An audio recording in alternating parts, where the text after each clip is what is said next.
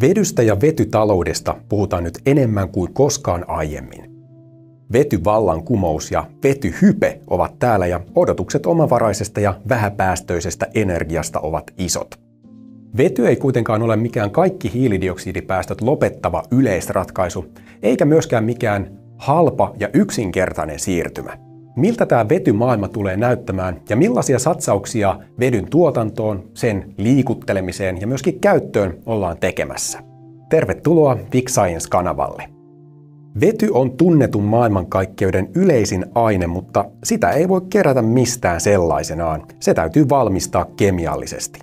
Vetyä voidaan erotella teollisesti muun muassa maakaasusta, mutta puhtaimmin sitä voidaan tuottaa sähkön ja elektrolyysin avulla siten, että hyödynnetään uusiutuvia sähkölähteitä kuten tuulivoimaa, aurinkovoimaa tai sitten vesivoimaa. Sähköä elektrolyysiin tarvitaan paljon, ja prosessin hyötysuhde jää heikoksi, ellei myös syntyvää lämpöä hyödynnetä. Toisaalta tätä niin kutsuttua vihreää vetyä voidaan tehdä ilmaisella ylimääräisellä energialla. Ja silloin tarkoitetaan esimerkiksi juuri tätä tuulivoiman ylituotantoa, josta sähkön tuottajat joutuvat tänä päivänä periaatteessa maksamaan. Vety siis korjaa periaatteessa tämän ylituotannon ongelman ja tarjoaa siten myöskin tällaista sääriippuvaisesta energiantuotannosta tasaisempaa tuottoa. Vedyn avulla siis voidaan varastoida tuulivoimaa. Ja sitten niinä tuulettomina pilvisinä päivinä vetyä palautetaan takaisin energiaksi ja lämmöksi sitä polttoainetta käyttävissä voimalaitoksissa. On myös ajateltu, että vety olisi hyvä käyttää melko lähellä sen tuotanto- ja varastointipaikkaa. Vety on pienin atomeista ja karkaa helposti materiaalien läpi. Vedyn varastointia kallioperäänkin tutkitaan Suomessa. Mutta helpointa vedyn varastointi ja kuljetus on, kun se on sitoutuneina muihin aineisiin. Ilmaston kannalta vety on ihanteellinen, sillä sen palamisessa syntyy energian lisäksi vain vesihöyryä. Vetyä voidaan käyttää sellaisenaan tai sitten siitä voidaan hiilidioksidin avulla valmistaa synteettisiä polttoaineita, kuten esimerkiksi metaania, metanolia ja myös ammoniakki on yksi vaihtoehto. Vihreän vedyn avulla voidaan tehdä hiilivapaita monista raskaista saastuttajista. Raskaasta sähköistämättömästä liikenteestä tai meriliikenteestä ja myöskin teräksen valmistuksesta. Fossiilivapaata terästä saadaan, kun rautamalmin pelkistämisessä korvataan koksi eli kivihiilestä valmistettu hiili vihreällä vedyllä. Ja esimerkki päästövähennyksistä on se, että Suomessa pelkästään Raahen terästehtaan muuttaminen vihreää vetyä käyttäväksi pudottaisi Suomen hiilidioksidipäästöjä 7 prosentilla. Myös nykyisen harmaan eli maakaasusta tehdyn vedyn korvaaminen vihreällä vedyllä vähentäisi tuntuvasti päästöjä maailmalla ja myöskin Suomessa. Tätä vetyä käytetään muun muassa lannoteteollisuudessa sekä öljynjalostustoiminnassa. EUn tavoite on, että jopa viidennes jäsenmaiden energiantarpeesta katettaisiin vihreällä tai vähähiilisellä vedyllä vuoteen 2050 mennessä. Ja Suomen tavoite on tuottaa 10 prosenttia tästä EUn tarvitsemasta vihreästä vedystä. Ajatus perustuu siihen, että Suomessa on jo tarjolla runsaasti edullista maatuulivoimaa sekä puhdasta vettä. Maatuulivoima on jo nyt Suomessa edullisin sähköntuotantovaihtoehto ja se kattaa tällä hetkellä kymmenesosan koko maan kulutuksesta. Vuoteen 2050 mennessä tämän osuuden ennustetaan nousevan jopa yli puoleen, suurelta osin tämän vihreän vedyn tuotannon siivittämänä. Aalto-yliopiston keräämien tietojen mukaan Suomessa oli vuoden alussa vireillä 23 vihreään vetyyn liittyvää investointia, joiden yhteissumma on jopa yli 10 miljardia. Inkooseen suunniteltu Blaster Green Steel-yhtiön vety- ja terästehdas on näistä yksi ja sen arvoksi on kerrottu yksistään noin 4 miljardia. Mutta suunnitelmasta investoinniksi on kuitenkin kypsynyt vasta aika harva projekti. Edenneistä vetyhankkeista voidaan mainita P2X Solutionsin 20 megawatin vetyä ja synteettistä metaania valmistava laitos ja sen rakennustyöt Harjavallassa, kustannukset joitain kymmeniä miljoonia.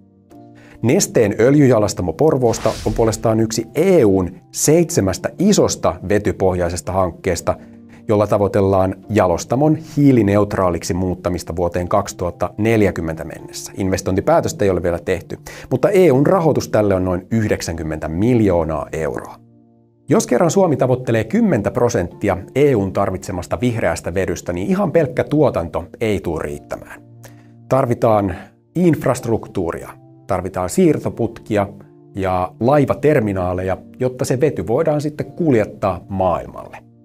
Suomeen ja Itämeren alueelle onkin suunniteltu noin 5000 kilometrin vetykaasuputkistoa. Suunnitelmissa vetyä kulkisi Suomessa kahteen suuntaan. Etelä-Suomesta Baltian kautta Saksaan sekä Vaasasta Perämeren rannikkoa pitkin Ruotsiin. Ja lisäksi yhtä putkea sovitellaan Itämeren pohjaan, se taas yhdistäisi Suomen, Ruotsin ja Saksan. Pelkästään Suomen ja Ruotsin välisen siirtoputken kustannuksiksi on arvioitu noin kolme miljardia, ja valmiiksi tämä siirtoputkisto haluttaisiin vuoteen 2030 mennessä. Suomea isommassa kuvassa Keski-Euroopassa 12 maata on käynnistänyt European Hydrogen Backbone nimellä kulkevan hankkeen, jonka tarkoitus on paitsi vähentää päästöjä myöskin riippuvuutta maakaasusta. Eurooppa on aika riippuvainen maakaasusta. Ja siihen liittyen on arvioitu, että vetyinvestoinnit olisi jopa 400 miljardia euroa. Ja pelkästään siirtämiseen tarvittavaan putkistoon uppoisi semmoinen 40-80 miljardia. Mutta se on kuitenkin halvempaa kuin uusien sähköverkkojen rakentaminen. Ihmeellistä kyllä. Nämä investointisummat on valtavia, mutta toisaalta Euroopan komission vetystrategiassa arvioidaan, että koko maailmassa vuoteen 2050 mennessä tuotettaisiin energiaa jopa neljäsosa vihreän vedyn avulla. Ja se tarkoittaa sitä, että vuosittain vihreässä vedyssä liikkuisi maailman rahaa 630 miljardia euroa. Liikepankki Goldman Sachsin raportin mukaan sähkön tuotannon tarve myös kaksinkertaistuu tässä samassa ajassa ja elektrolyysistä tulee suurin sähkön käyttäjä. Tarvitaan siis paljon uutta, halpaa, uusiutuvaa sähköä. Esimerkiksi meillä Suomessa viime vuosien ja myös tulevien uudet tuulivoima- ja myös aurinkovoimainvestoinnit pyörivät miljardiluokassa. Ja nyt on tietysti jo myös huomattu, että Uusien tuulivoimaloiden takia sähköverkkokin vaatii uudenlaista ajattelua ja lisäinvestointeja. Tarvitaan myös säätövoimaa ja tehokkaampia siirtoyhteyksiä puistojen ja käyttäjien välillä. Ellei tätä tulevaa vihreää vetytuotantoa sitten jollain tapaa eroteta omakseen. Suomi tavoittelee päästä vetytalouden kärkimaaksi ja alan kasvunäkymien takia odotukset tuotoista ovat suuret. Puhutaan uudesta Nokiasta. Videon alussa käytimme sanaa vetyhype. Onko se sitten oikea sana kuvaamaan tätä tavoitetta ja yhteisponnistusta? Saattaa olla, sillä moni asia vihreään vetyyn liittyen on vasta kehitteillä ja tulossa, kuten esimerkiksi se raha niihin investointeihin.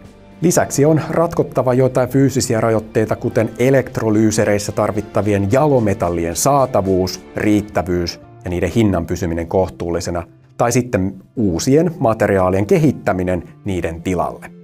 Vaikka vauhti on kova, on myös matka koko maailman infran muuttumiseen aika pitkä. Vety tarvitsee perustutkimusta, soveltavaa tutkimusta, tuotekehitystä, investointeja, eikä pidä unohtaa myöskään koulutusta. Hyvä asia on kuitenkin se, että vedyn osalta näyttää kaikenlaista tapahtuvan jo vähän joka osa-alueella. Lopuksi vielä miljardien ja miljardien vetymatkaan pieni sivupolku, mitä ei tietenkään pitäisi unohtaa – Nimittäin vihreä vety ei ole ainoa mahdollinen teknologinen ratkaisu Euroopan tai maailman energiakysymyksiin, mutta se on kuitenkin kiinnostava ja jo olemassa. Voihan se tulevaisuudessa sitten saada rinnalleen muitakin päästöttömiä ratkaisuja. On saatu lupaavia uutisia viime aikoina muun muassa fuusioenergiasta. Kiitos, että käytit aikaa tämän videon katsomiseen ja toivottavasti sait tästä uutta tietoa tai se selvensi tai piirsi tarkemmin vähän tätä vedyn isompaa kuvaa Suomessa ja Euroopassa. Lisää Vic Science-videoita ja aiheita löydät kanavan pääsivulta sekä linkeistä tämän videon alta. Kiitos ja palataan!